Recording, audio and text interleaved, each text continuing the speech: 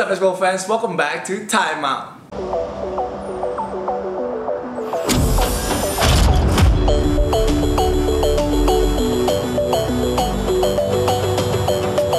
Bareng gue Padilla dan selain kita akan ngomongin tentang kemenangannya BTN Chelsea Indonesia gue nanti pun ada interview pendek dengan point guard Chelsea yaitu Arif Hidayat. Jadi kemarin ini BTN Chelsea Indonesia berhasil menang 86-77 atas Mono Vampire di game pertama ABL Playoff Semifinals yang artinya mereka sekarang unggul 1-0 di best of three series ini dan sudah melangkahkan satu kaki untuk ke ABL Finals. Jadi kalau mereka bisa menang hari Rabu nanti melawan Mono Vampire artinya mereka akan masuk ke final untuk menantang Singapore Slingers. Jadi kemarin ini skornya 86-77 tapi gamenya ketat banget di babak pertama di mana skornya 40 sama dan gue penasaran sebenarnya coach Brian Rossum itu ngomong apa di halftime karena tiba-tiba tim yang keluar di kuarter ketiga itu beda banget nih. Jadi timnya jauh lebih bagus untuk CLS Nas ya. Jadi kan kita tahu kemarin gue jadi komentator walaupun sedikit belipet-belipet bahasa Inggris gue sorry banget yang nonton. Tapi uh, di babak pertama gue selalu bilang nih BTN Chelsea Indonesia mainnya harus dengan ball movement yang lebih bagus. Dan ternyata di quarter ketiga mereka keluar dan benar-benar melakukan itu di mana mereka banyak sekali melakukan extra press yang membuat uh, Brandon Jawato dan juga Arif Hidayat kosong. Dan selain extra pass itu defense-nya luar biasa banget sih main di quarter ketiga di mana mereka menahan Mono Vampire hanya 8 poin di quarter ketiga. Jadi kemarin menurut gue perbedaannya yang paling jelas banget adalah di kuarter ketiga kenapa BTN Chelsea Indonesia bisa menang. Walaupun memang sangat disayangkan main marginnya lebih dari 19 poin di kuarter keempat sisa dua setengah menit atau tiga menit gitu tapi coach Brian Rossum uh, decided untuk mengeluarkan beberapa pemain cadangan dia yang uh, menurut gue minim pengalaman untuk bermain di ABL. Jadi sangat sayangkan mana dan akhirnya Mono pemain dengan pemain lokal aja loh semua kemarin itu juga berhasil melakukan kalau nggak 10 orang di uh, 2 menit terakhir di mana skornya jadi single digit bedanya. Jadi sangat disayangkan banget. Menurut gue kemarin kalau memang coach Brian Russell memberikan beberapa pemain pengalaman mungkin harus tinggalin Arif Hidayat, Firman dan juga Sandi di lapangan agar tetap ada beberapa pemain seniornya sih kemarin. Jadi itu sangat sayangkan banget karena kita nggak mau memberikan pemain mono atau pemain lokal yang mono ini kepercayaan diri untuk menuju ke game kedua nanti. Tapi uh, untungnya kemarin BTN Chelsea Indonesia berhasil menang dengan skor 86 70 uh, sorry 86 77 dan bintangnya jelas Arif Hidayat. Kemarin ini Arif luar biasa banget hormat banget untuk Arif karena kita tahu main dia baru dipanggil sama tim nasional untuk seleksi SEA Games dan di sini dia membuktikan kalau memang dia layak banget dan dia adalah satu point guard salah satu point guard terbaik di Indonesia. Arif main selesai dengan 11 poin, tembakannya 4 dari 4 perfect from the field dan kalau gue lihat tuh Arif gue senangnya tau gak apa?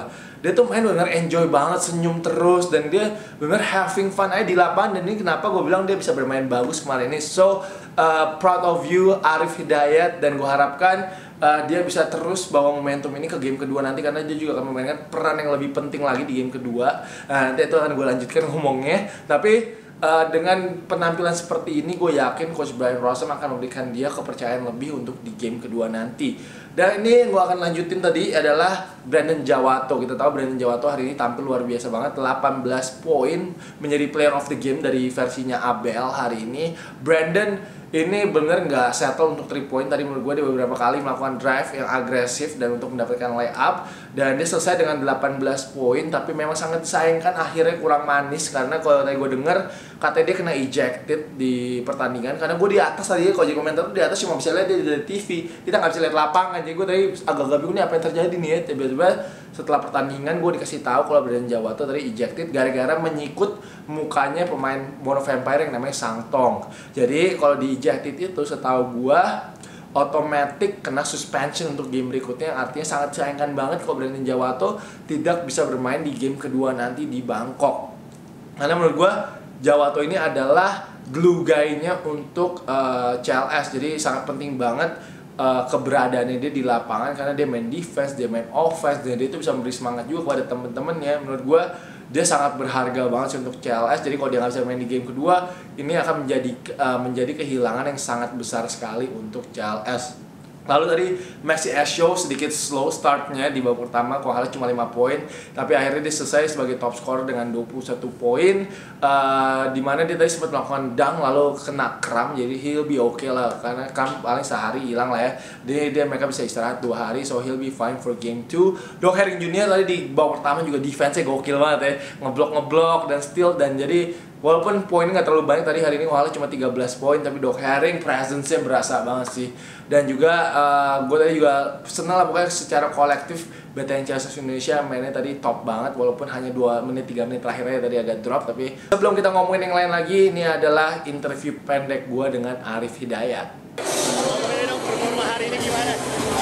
Uh, ya kebetulan aja main bagus.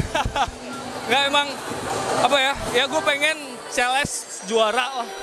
Makanya gue mati-matian buat defense, buat offense, bisa mungkin gue fokus bantu tim. Di second half, di half time, Coach Brian Rosen ngomong apa sih kok tiba-tiba quarter 3 mainnya bagus banget. Uh, apa ya tadi ya di locker roomnya? Ya kita pengen menang dua game langsung. Quarter tadi apa ya? Simono ngasih apa box one ke ke kita ke Douglas. Jadi respon kita kayak gimana? Masa cuman gitu-gitu doang? Kita harus cari jalan keluar.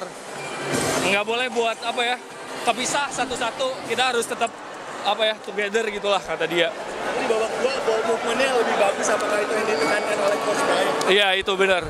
Di awal-awal kita apa ya kayak frustasi sendiri, syuting nggak masuk, jadi defense males-malesan frustasi. Dengan kita mulai apa ya sharing bola, pindah kanan, pindah kiri, pindah kanan, pindah kiri, bikin enak gitu. Kita nyaman pegang bolanya, jadi lebih pede juga buat syuting. Game kedua, apa nih yang pengen diperbaiki? Ya kita udah tahu tadi Mono kayak gimana mau ngelawan kita uh, si Douglas dari awal di box one respon kita kayak gimana jadi kita harus siapin semuanya uh, kita semua pengen selesai di Thailand Itulah interview gue dengan Arif Hidayat. Uh, tadi luar biasa gue ngomong juga defense-nya Chelsea hari ini bisa menahan Tyler Lamb, Moses Morgan dan juga Michael Singletary ini uh, di poin yang single digit nggak nyampe double digit semua. Karena gue tahu main Singletary itu dua game terakhir ketemu Chelsea luar biasa banget ya. 29 poin per game dan 3 poinnya 69% tapi hari ini bau banget. Hopefully defense-nya ini bisa dibawa untuk ke game kedua nanti di Bangkok. Dan tadi setelah gue nonton pertandingan kan makan di kelas junior ternyata 6 pemain Amerikanya uh, Mono Vampire semua makan di kelas junior kan. Duduknya dekat kita nih dekat kita so kita nguping-nguping dikit lah. Mereka bener membahas tentang pertandingan tadi bagaimana mereka kehilangan fokus kayaknya dan juga defense mereka sedikit kendor. Jadi uh, gue expect uh, Mono akan tampil lebih bagus lagi di game kedua nanti. Dan uh, tadi gue ngobrol sama Michael Singletary kan uh, dia bilang eh gue bilang gila lo sih spiritnya bagus banget ya. Maksudnya lo main hari ini nggak bagus nembak juga bau banget tapi lo masih bisa senyum masih bisa memberi semangat kepada teman-teman lo terus dia bilang jawabin santai sih jawab sambil ketawa juga. Dia friendly banget sih orangnya asli orangnya humble banget. Dia bilang ya lo mau gimana lagi kalau it's just one of those night gitu. Kayak lo emang lagi bau ya all you can do ya lo beri semangat ke teman-teman lo agar mereka juga bisa percaya diri untuk game berikutnya. Tadi jawabannya bagus banget sih untuk Michael Singletary dan dia juga bilang ini kayak uh, dua minggu break lumayan ngaruh untuk gua. Dia bilang gitu. Tembakan gue jadi agak rusty tapi gua rasa sih game kedua nanti kayak nggak akan rusty sih. Gue expect Michael Singletary akan uh, main bagus dan akan mencetak poin cukup banyak sih nanti di game kedua. But uh, untuk game kedua untuk BTN Chelsea Indonesia kok gue rasa sih uh, melakukan hal yang sama aja stick with the game plan make the extra pass dan juga assist kan tadi asisnya akhirnya selesai kok halah 20 assist. Nah menurut gue tuh kok di angka 20 assist itu udah bagus banget sih di mana itu memberikan mereka chance menang untuk lebih uh, untuk menang lebih banyak. Karena tadi itu di first half gue lihat cuma 7 assist itu terlalu rendah sih menurut gue so if they can keep up at 20 assist atau more itu akan bagus banget untuk di game kedua nanti. Karena extra passes itu sangat penting banget sih menurut gue karena ball movement itu akan memberikan open shot untuk shooter. Nanti gue penasaran sih siapa kira-kira yang akan menggantikan perannya Jawado tapi sepertinya sih yang akan di insert insert ke starting lineup adalah Sandi ya pasti ya. Lalu ntar ada Firman dan juga Arif Hidayat yang mungkin akan bermain cukup banyak juga. So uh, hopefully BTN Chelsea Indonesia bisa memenangkan game kedua nanti biar kita nggak perlu tegang-tegangan nonton game ketiga karena gue game ketiga kayak nggak kuat nontonnya gue. Ya. tapi itu aja sih guys. Uh, video gue hari ini semoga bermanfaat dan semoga kalian suka juga. Jangan lupa untuk like jangan lupa untuk komen and jangan lupa untuk subscribe. Thank you guys for watching. I'll see you guys next video. Peace